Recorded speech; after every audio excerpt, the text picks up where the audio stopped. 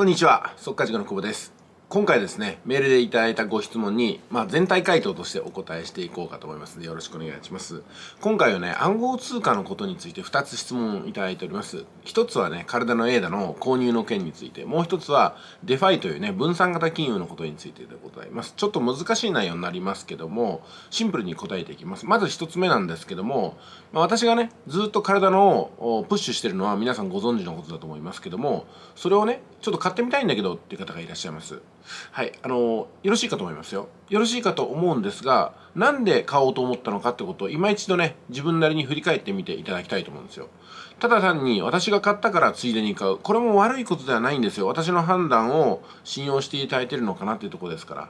まあけどね、自分なりに、この体のエラに、まあどんな期待を寄せているのか。値上がりして儲けようと思うんだったらなんで値上がりすると思ってるのか。そして、もしかしたらこの体のエラってのが、パーになるかもしれない。ね、投資っていうのはゼロになる可能性があるってことも込みでやらないといけないんですけどもじゃあこの体の枝がゼロになってしまう値下がりしてしまう価値をなくしてしまうとしたらどんなことが考えられるのかなってことに回答が出てから、えー、購入するかどうかを検討することを私はお勧めしたいです。私は自分の体の枝についての、まあ、経験勉強分析それから他の通貨や金融資産との相対関係、また自分の余剰資金のことを考えて体の枝を押しているのと、プラスですね、体の枝体の枝がこれ、細かくはね、ここでは説明を割愛しますけども、現在体の枝180円ぐらいです。今年は一時期350円近くまで行きました。では、来年から再来年、そして近い未来、5年から10年の間にどのぐらいの価格に行くと思いますかっていうところなんですけども、私はね、1000円前後で均衡すると思います。そしてもうちょっと長いスパンを見ていくと、例えば量子コンピューターが導入されて私たちの家庭に入ってくるようになった時には、体の枝はおそらくですけども、少なく見積もっても2000円。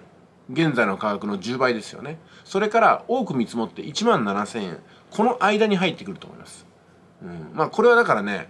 50年とかっていうレベルで見ないといけないですね。この金額っていうのは。でも、ここ10年ぐらいで、まあ、考えていいのはまあ、細かいことは割愛しますけども1000円ぐらいじゃないかなと思うんですよ。そしてある時期ある時期では私みたいな体の枝を持ってる大量保有してるホルダーさんがですね大量決済するそういうタイミングも訪れます。そのタイミングっていうのは大体みんなで似て似通ってるんですよ。例えば一つのポイントっていうのが、えー、今この時期なんですよ。12月の3031日あたり。特に今回ステーキングってのが今年最後のタイミングになりました。このステーキングが最後のタイミングになると、利益確定をして、税金に対して現金を作らなくてはいけません。それから、決済に関しましても、いろいろとね、年末だと簡単なんですよ。私も同じことを考えてますけども、この時期にカルダノ ADA を、ステーキングでね、1年間貯まった分を決済して、で、来年の何らかの資金にしようというふうに考える。そういうタイミングっていうのは今まさに起きてると思うんですよ。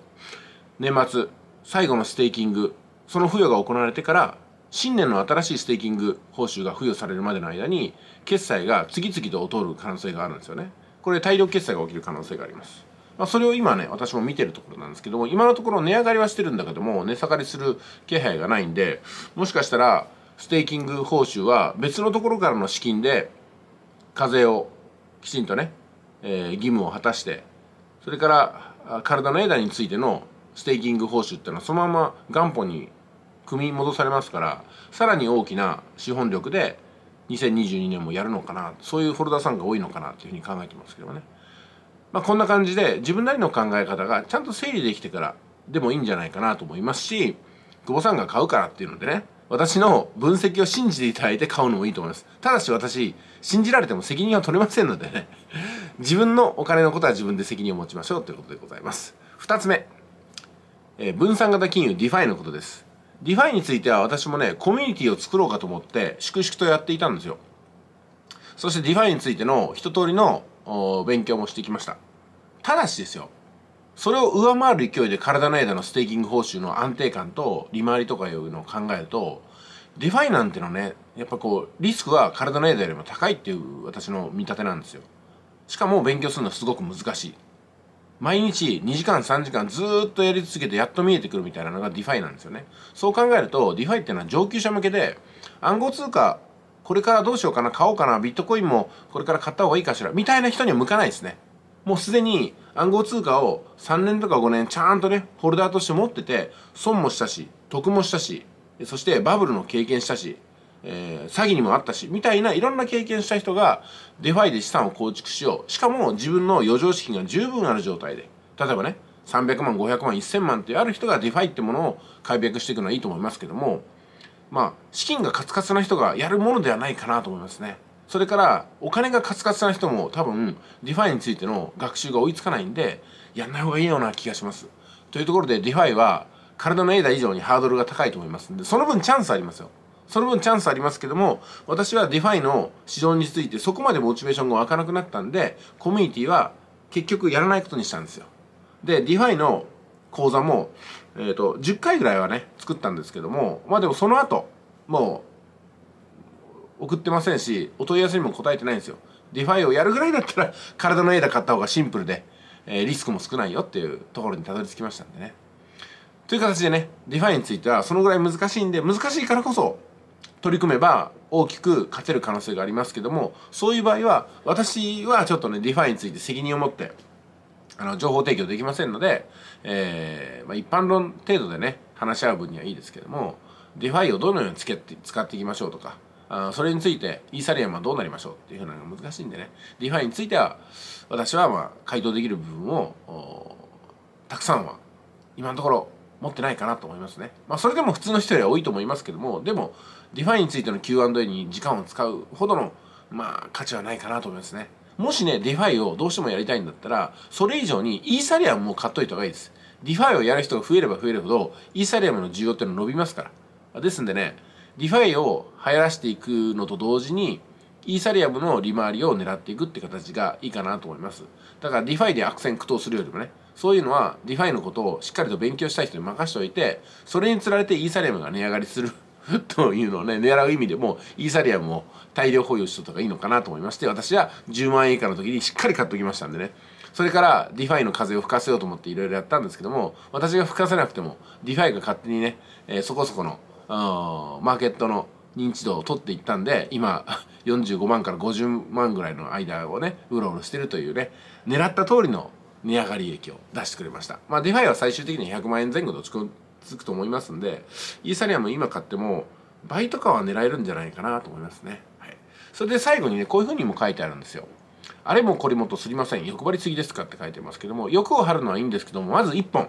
まず1本お金をしっかりと生み出せるものを作ってから2本目の柱3本目の柱に行きましょう。欲張りっていうのはそういうことなんですよ。段階を経てですねこっちをマスターしたらこっちこっちをマスターしたらこっちっていうふうにどんどん増やしていく。っていうのはいいんですけどもいきなり入り口でダーンと広げちゃダメなんですよ。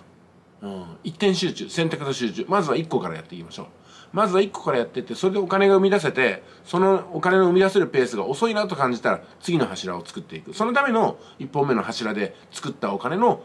投資っていうことになりますからね。いきなりじゃあ3つも4つもやるとするじゃないですか。全部に資金と時間が必要なんですよ。それ全部クリアできますかってことを考えたらこれはね私でもね私でも1個ずつしかやったことがありません。この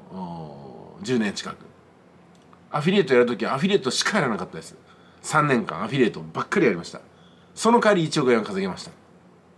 まあそんな感じでございますんで欲張るのは結構ですけども同時にね同時にやるのはこれはかなり難しいかなと思いますね。例えて言えばねテニスの試験を受けます。大学の受験もします、うん、それから趣味もやめません。えー、何？彼女とも付き合います。みたいなことをね4つ同時にやりますかってことなんですよ。私は大学受験の時は大学受験しかやらなかったです。1年間ね。もう他のことは全くしなかったんで自転車にも乗らなかったって感じですね。はい、えー、ちょっと長くなりましたけども回答は以上です。ありがとうございました。